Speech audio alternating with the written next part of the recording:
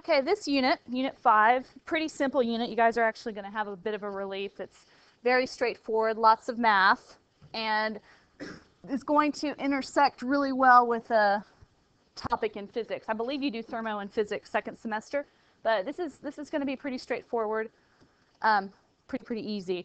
So a little bit of theory before we start. Um, we know thermodynamics is the study of heat, energy, and work, and how they're all interrelated. Um, specifically, we're going to be looking at this delta E. This is internal energy. You'll learn more specifically about internal energy and what it really means in physics. For now, we're going to focus on, yeah, we will have to calculate internal energy at times, but we're primarily focusing on Q and W, heat and work. Um, what's really important in this unit and where students um, seem to make the most mistakes is they forget about their signs and they don't don't look at them as being super super important. The sign convention is crucial. Signs tell you direction or tell you whether work is on or off a system, whether the system's working or whether the work is being done on the system. All that is told by the signs, as well as direction of flow of heat when we're looking at endo and exothermic. So signs are just as crucial as numbers. So let's not take the signs for granted. Um, we're also going to be looking at things that chemical reactions participate in. And we have two terms. One is called system and one is called surroundings. The system is the reaction. That's what we're looking we're looking at the perspective from the perspective of the system whenever we do anything in this class. Surroundings is everything else. So when we talk about exothermic, we're talking about heat being released from the system, by the system. We don't say it's exothermic because heat is absorbed by the surroundings. No. We look at it with respect to the system. When you get to physics, you're going to have to sometimes look at it from both perspectives. But just know we only look at things from the perspective of the system. Okay.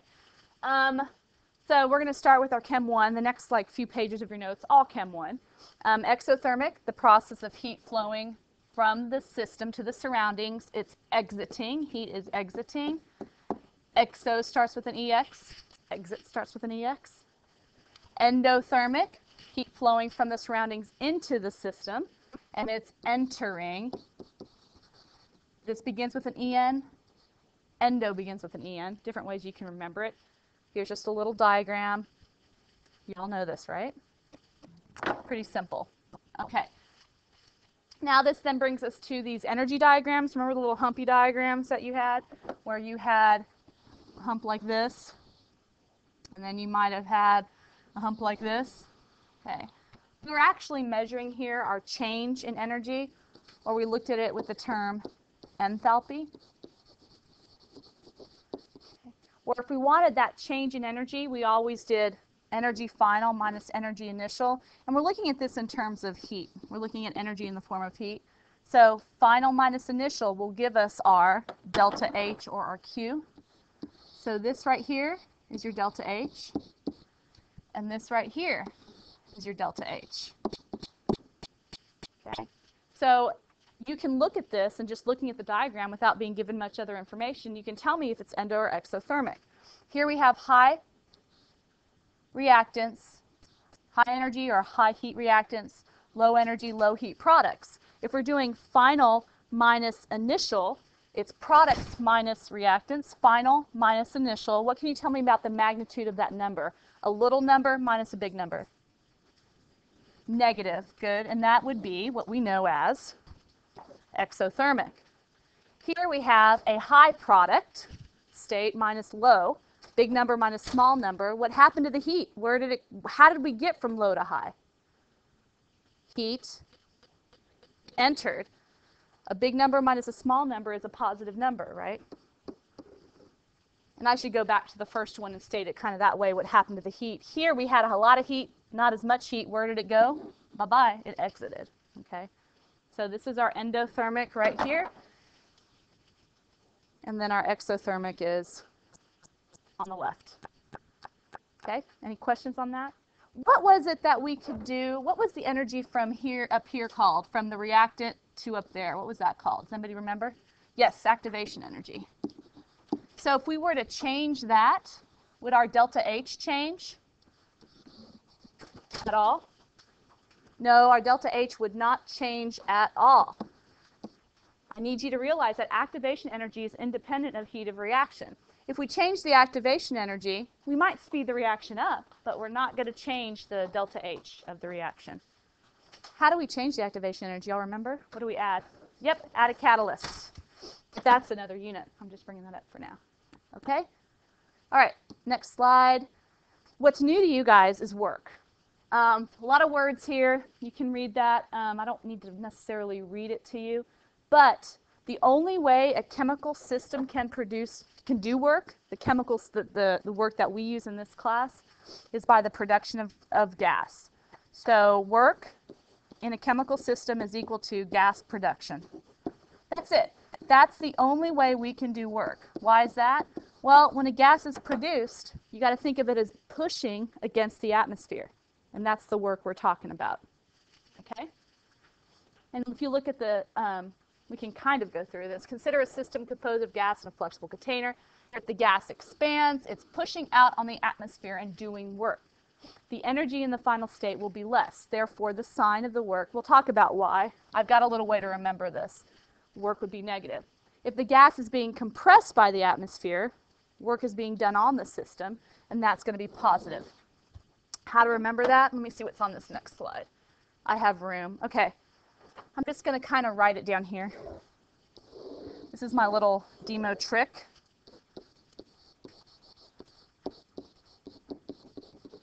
Okay. So what we're going to do, we're going to look at a system. Let's say you're the system. Who can I pick on today? Julian's the system. Okay. Julian is the chemical reaction. And Julian's doing work. So how is Julian doing work? What is he producing? Gas. So we've got Julian doing work by producing a gas.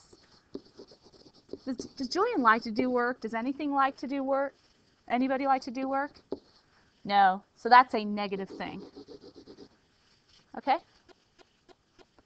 If the system does work, that's negative. It's a negative thing. System doing work. Who wants to do work? No one system doing work is negative. Now let's say Julian doesn't like his nose and he's getting a lot of pressure. He's being compressed. He's getting a lot of pressure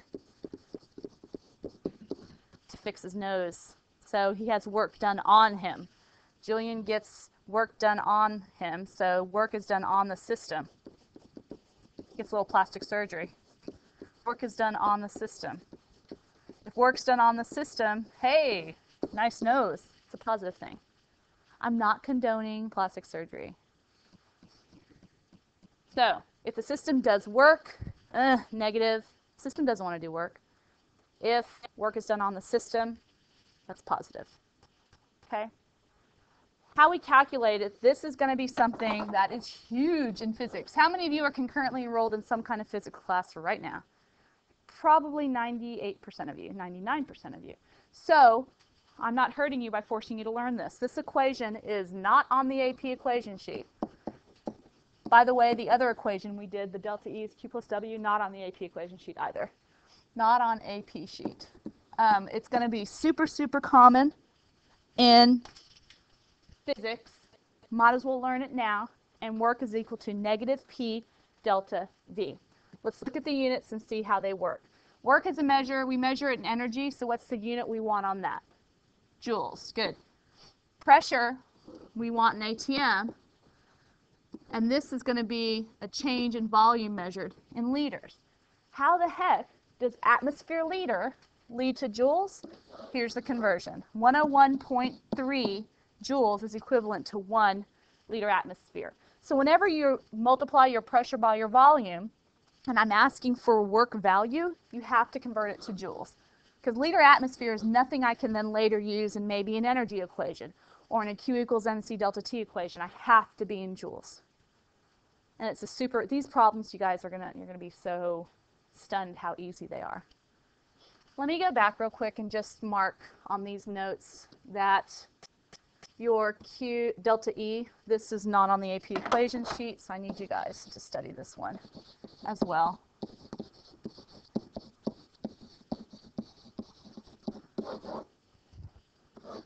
All right. So let's do some problems. And you'll see these are super simple. As long as you watch your units, it's easy. Calculate delta E, internal energy, for a system undergoing an endothermic process in which 15.6 kilojoules of heat flow and 1.4 kilojerk, kilojerk, kilojoules of work. You see where I got jerk out of that? Work and joules. Kilojoules of work is done on the system. So, what's the equation I use?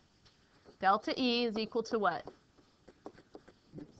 Good. Q plus W. Great. So now I'm going to do a little plug and chug, but I got to watch my signs.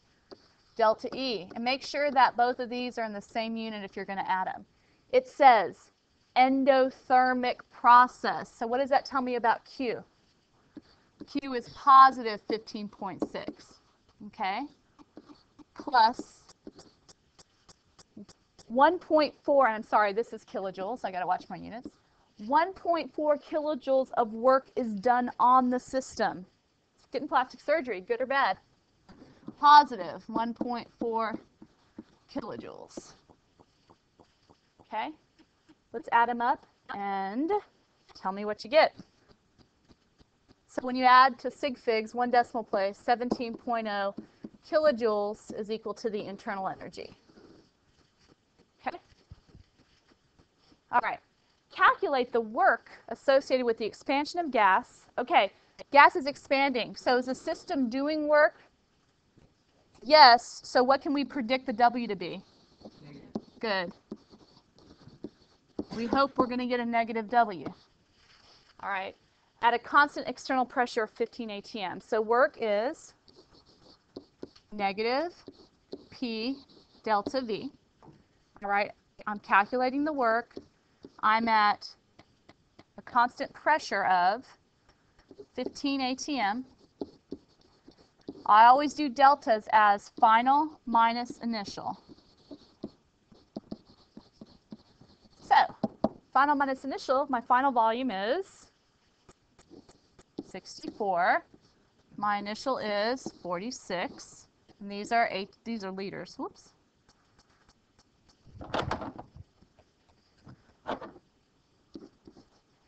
Now watch my units here. What's my unit after I do this multiplication? That's not joules. When I do the multiplication, what's my unit? Liter atmosphere. Good. So what is my number in liter atmospheres? Negative 270. What? It's just negative 270. That's it? Okay. And um, I'll worry about sig figs at the end. But that's a liter atmosphere.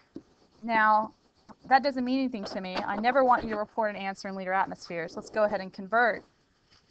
My conversion is for every one latum, I have 101.3 joules. All right, we get negative 2.7 times 10 to the fourth joules that's kind of gross. Can we make it kilojoules? Not that we have to. So isn't that negative 27 kilojoules? And you know what? If you give it to me in joules, I'm fine. There was nothing in this problem that said report in kilojoules. But on the AP exam, the majority of the time, they will ask you to report in a certain unit. So as you're reading your AP questions, be underlining what your final answer needs to be in or circling or something. Um, so either one of these answers is acceptable. Okay, next question. A balloon is being inflated to its full extent by heating the air inside it. What can you tell me about work then? Negative. Work's negative because it's compressing against the surroundings. Um, so we're predicting a negative work. In the final stages of this process, the volume of the balloon changes from 4 E6 to 4.5 E6 by the addition of 1.3 E8 joules of energy. By the addition of, what is that Q? Positive or negative? Positive is endothermic. Assuming that the balloon expands against a constant pressure of 1 atm, calculate delta E. So we need to find delta E. We have Q, because I see it right there. Q is there. What about W? Do I have W? Nope, I got to calculate it using W is equal to negative P delta V. So W is equal to, my pressure is a constant 1 atm My final volume is 4.5 E6. My initial volume is 4 E6. And let's solve. So our work turns out to be, we're not going to worry about sig figs until the end, 5 times 10 to the fifth. And what's the unit on this? Liter atmospheres. Is it negative? It should be negative, yes. Um, so we're going to convert the liter atmospheres because if we're going to need to add it to Q, we have to be in the same unit. And up there, Q is in joules. So let's go ahead. For every 1, 101.3 joules, I have 1 latom.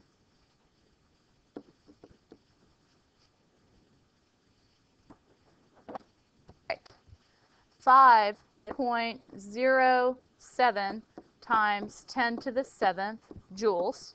Okay, now what do I do? And again, it's negative. I keep dropping that negative. Gosh darn. All right, so now we're going to add those to the heat up here. So our internal energy is equal to the Q, which we determined was positive 1.3 times 10 to the 8th joules, plus our work of negative 5.07 times 10 to the 7th joules. And your final answer of your internal energy is equal to 7.9 times 10 to the 7th, and my unit, joules. Good. Okay. And that is all you need to know for work and internal energy. That's it. That's as hard as they get so they're not too bad. What I want to go through now is the concept of specific heat. And you learned this last year quite a bit. We talked about specific heat being the amount of heat required to raise one gram of a substance by one degree Celsius. Can anyone tell me what the most, the highest specific heat, uh, I can't even speak, what substance has the highest specific heat? Water does, okay? That's responsible for so many properties of, well, hydrogen bonding is responsible for that, but that is what is the basis of basically life. We'd have no lakes. We'd all be dead in Texas in the summer because our bodies would all evaporate away. Um, so very, very important concept. Um, things with a high specific heat absorb more heat. Things with a low absorb less. So have you all ever cooked a turkey or a meatloaf or something like that? Have you ever noticed when you take the oven, the pan out of the oven, that you can more ra rapidly touch the aluminum foil than you can the pan. That's not because the aluminum's thinner or anything. That's because aluminum has a lower specific heat. So it has a very low specific heat. So it loses the heat quicker and it, gain, and it, and it gets hotter faster, but it also loses the heat more quickly. Okay. Um, what we're going to tie this to is the use of Q equals MCAT. And so we're going to do some basic Chem 1 level heat calculations. And tomorrow we're going to um, transition into calorimetry, both coffee cup and bomb calorimetry. Um, heat capacity, what's this? Um, one thing last year, and I heard that from last period that some of the classes didn't do this, but you should have done, if not in person, online, some sort of coffee cup calorimetry problem, a lab, where you measure the delta T of a substance and you end up putting in the mass of the two liquids added up and in regular chem, I know they actually physically did this. But anyway, you made an assumption when you did that lab that the coffee cup, because it was styrofoam, you assumed that no heat was lost. So you never had to deal with heat capacity. All heat capacity is, is how much heat an object like a calorimeter or a thermometer or something is going to absorb. Um, we will visit this tomorrow. And you can just make a note that this is for calorimetry only. And again, I'll talk about it tomorrow when we're actually doing the problems. And you are going to do a calorimetry lab this year for sure. Um, and I'll introduce that. That's going to be the lab we're going to do. I hopefully I have it on this calendar before the test. That's really important. So let's just jump in to do some of these problems super easy. We're going to use the equation Q equals MCAT to find the heat of a reaction. Let's check out units though before we start doing too much. We know Q is in joules. Mass we want in grams. Specific heat is how many joules is required to raise a gram, to raise one gram degree Celsius. So it's joules over gram degree Celsius. And then what do you think our temperature needs to be in? Degrees Celsius. Okay, so do you see how the grams cancel? And then the degrees Celsius cancel, leaving us with joules. Okay? Here's a question, though, that I have for you. What if I were given temperatures in Kelvin? Subtract them. Oh, you, I'm saying to convert to Celsius. What if I told you you didn't have to? What would you say to that? I was full of poop.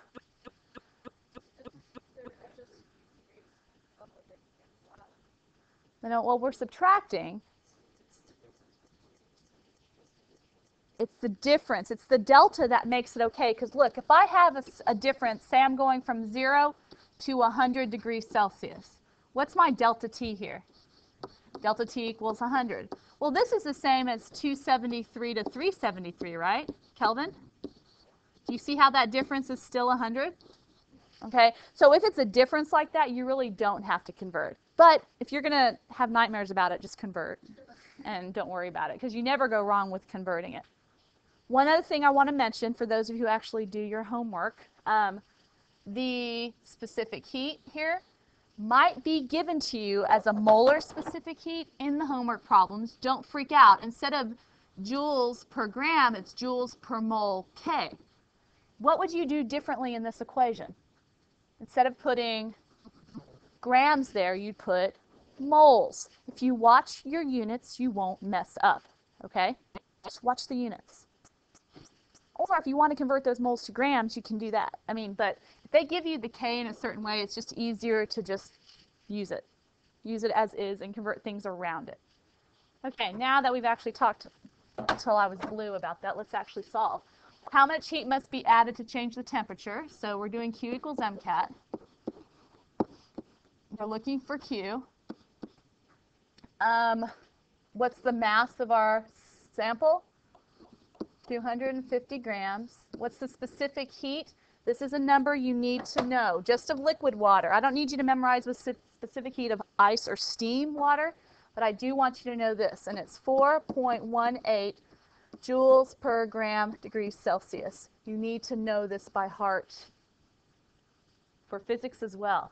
And your delta T, it's always final minus initial, so 60 minus 25. I know there's only one sig fig here, but let's round our final answer to 2.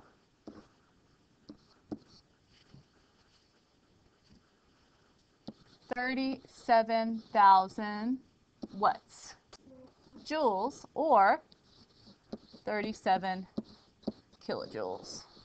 And again, I would accept joules. There's no reason there I wouldn't accept joules. If you're going to make a mistake, leave it in joules.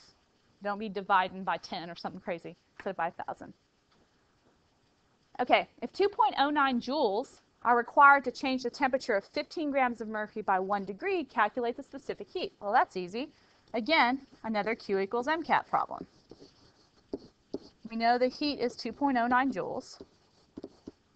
They want to know about 15 grams of this stuff. We're looking for the specific heat. What's my delta T? 1. All right, solve for specific heat, and our units are joules per gram degree Celsius. Give me three ciggies, not cigarettes, sig figs.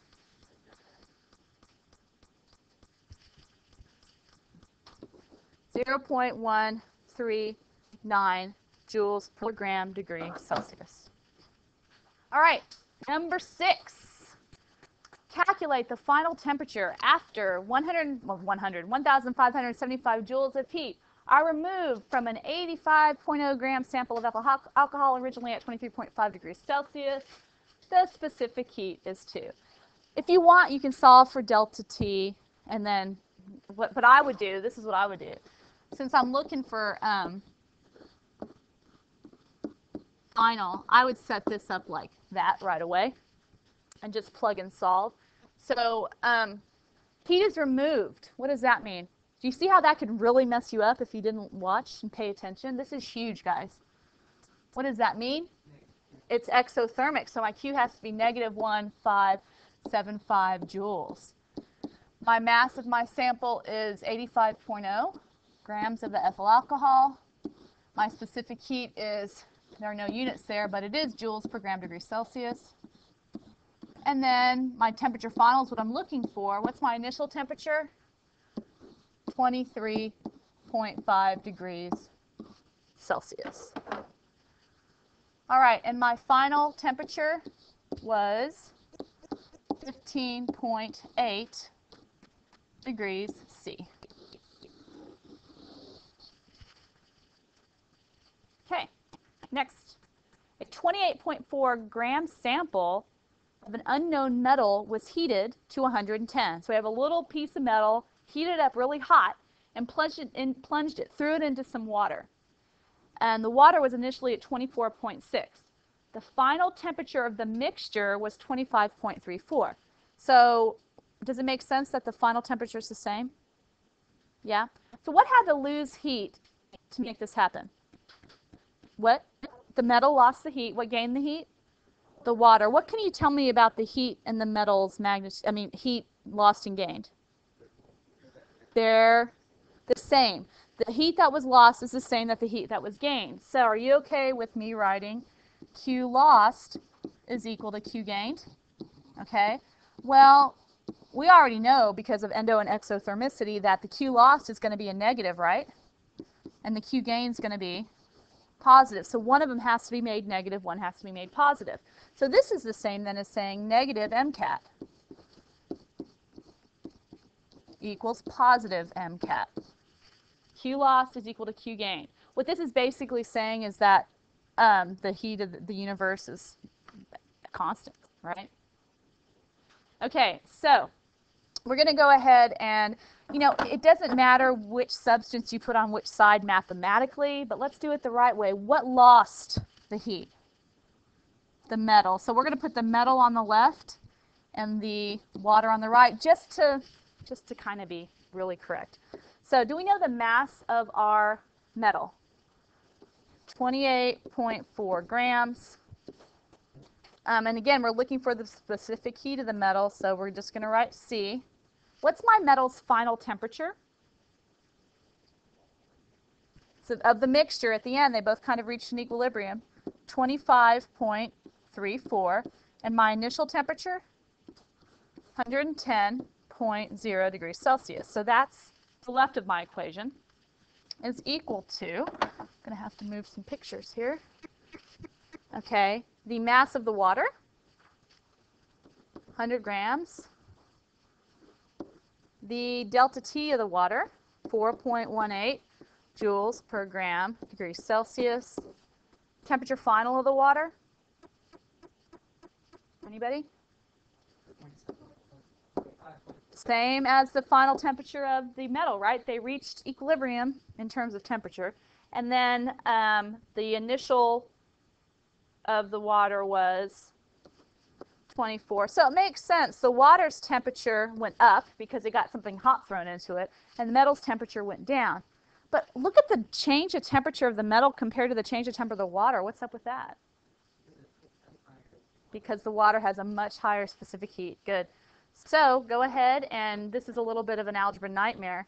Oh, this is not because we're just solving for C. I'm going to talk about a nightmare that will show up in your homework and why I want you to practice it. But someone go ahead and give me that specific heat. Okay, go ahead with the answer. Point, can I get a second on that?